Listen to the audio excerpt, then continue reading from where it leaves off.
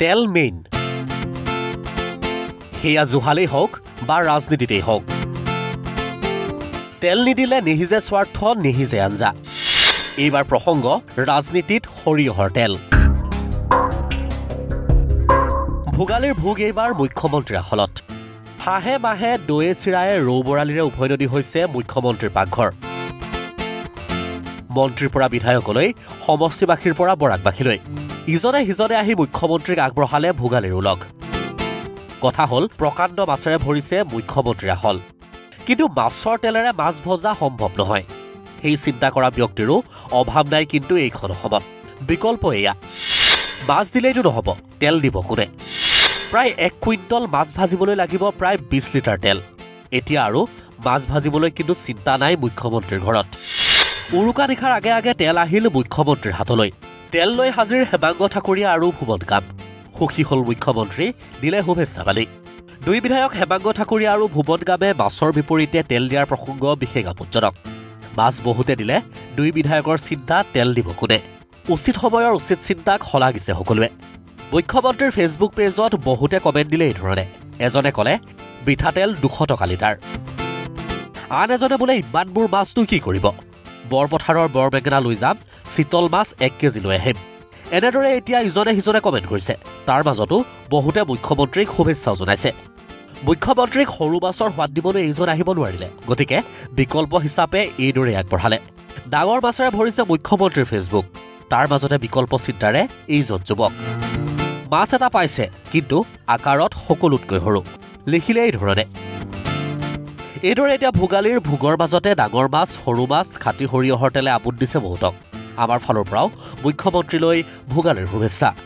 News desk report Ishan news.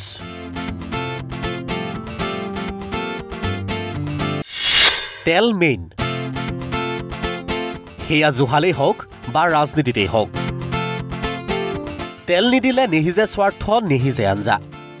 এইবাৰ প্ৰসংগ ৰাজনীতিত সৰিয়হৰ তেল। ভোগালীৰ ভোগ এইবাৰ মুখ্যমন্ত্ৰীৰ আখলত হাঁহে মাহে দৈয়ে চিৰায়ে ৰৌ বৰালিৰে উভৈনদী হৈছে মুখ্যমন্ত্ৰীৰ পাকঘৰ। মন্ত্ৰীৰ পৰা বিধায়কলৈ সমষ্টিবাসীৰ পৰা বৰাকবাসীলৈ। ইজনে সিজনে আহি মুখ্যমন্ত্ৰীক আগবঢ়ালে ভোগালীৰ ওলগ। কথা হ'ল প্ৰকাণ্ড মাছেৰে ভৰিছে মুখ্যমন্ত্ৰীৰ আখল কিন্তু মাছৰ তেলেৰে মাছ ভজা সম্ভৱ নহয়। সেই চিন্তা কৰা ব্যক্তিৰো অভাৱ নাই কিন্তু এইখন অসমত। বিকল্প এয়া। মাছ দিলেইতো নহ'ব তেল দিব কোনে? প্ৰায় এক কুইণ্টল মাছ ভাজিবলৈ লাগিব প্ৰায় বিছ লিটাৰ তেল। এতিয়া আৰু মাছ ভাজিবলৈ কিন্তু চিন্তা নাই মুখ্যমন্ত্ৰীৰ ঘৰত। উৰুকা নিশাৰ আগে আগে তেল আহিল মুখ্যমন্ত্ৰীৰ হাতলৈ। তেল লৈ হাজিৰ হেমাংগ ঠাকুৰীয়া আৰু ভুৱন কাম সুখী হ'ল মুখ্যমন্ত্ৰী দিলে শুভেচ্ছা বালি দুই বিধায়ক হেমাংগ ঠাকুৰীয়া আৰু ভুৱন গামে মাছৰ বিপৰীতে তেল দিয়াৰ প্ৰসংগ বিশেষ আপদজনক। মাছ বহুতে দিলে দুই বিধায়কৰ চিন্তা তেল দিব কোনে? উচিত সময়ৰ উচিত চিন্তাক শলাগিছে সকলোৱে। মুখ্যমন্ত্ৰীৰ ফেচবুক পেজত বহুতে কমেণ্ট দিলে এইধৰণে এজনে ক'লে মিঠাতেল দুশ টকা লিটাৰ। আন এজনে বোলে ইমানবোৰ মাছনো কি কৰিব? বৰপথাৰৰ বৰ বেঙেনা লৈ যাম চিতল মাছ এক কেজি লৈ আহিম। এনেদৰে এতিয়া ইজনে সিজনে কমেণ্ট কৰিছে। তাৰ মাজতো বহুতে মুখ্যমন্ত্ৰীক শুভেচ্ছাও জনাইছে। মুখ্যমন্ত্ৰীক সৰু মাছৰ সোৱাদ দিবলৈ এইজন আহিব নোৱাৰিলে। গতিকে বিকল্প হিচাপে এইদৰে আগবঢ়ালে।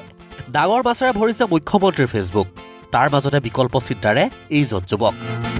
মাছ এটা পাইছে কিন্তু আকাৰত সকলোতকৈ সৰু।